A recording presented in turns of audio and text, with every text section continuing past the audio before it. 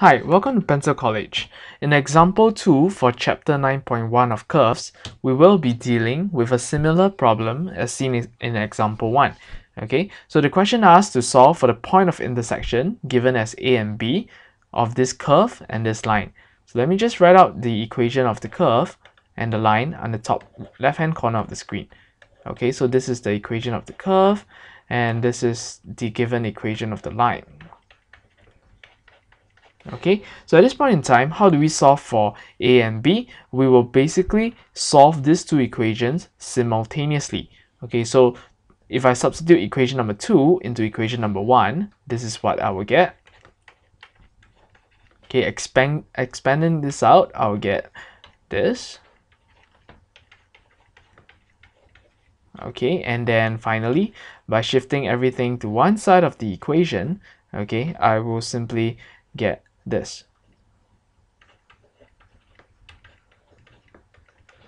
Okay, I, and I realize that I can factorize this. Okay, and uh, just get this. And finally, I'll conclude that x is 3 or 12. Okay, so since b is further off to the right than a, I conclude that the x-coordinate of b must be 12, whereas the x-coordinate for a must be 3.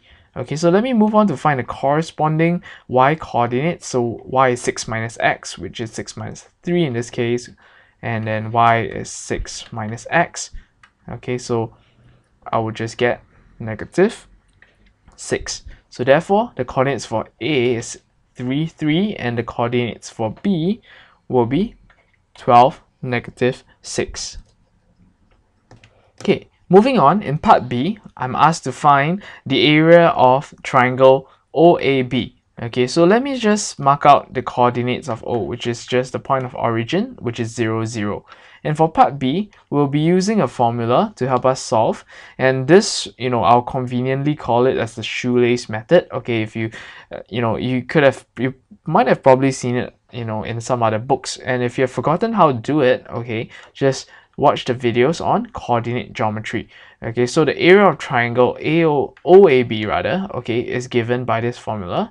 So half, okay, and probably I'll start with the point O, okay. So starting from O, I will go in the anti-clockwise direction. So from O will bring me to B followed by A. So point, so for B, it will be this coordinates and A is this. And finally, don't forget that the point that you started with, you have to end off with the same point.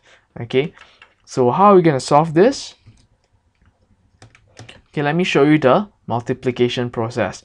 So 0 times negative 6, okay, don't forget the modular sign. So 0 times negative 6 plus 12 times 3 plus 3 times 0.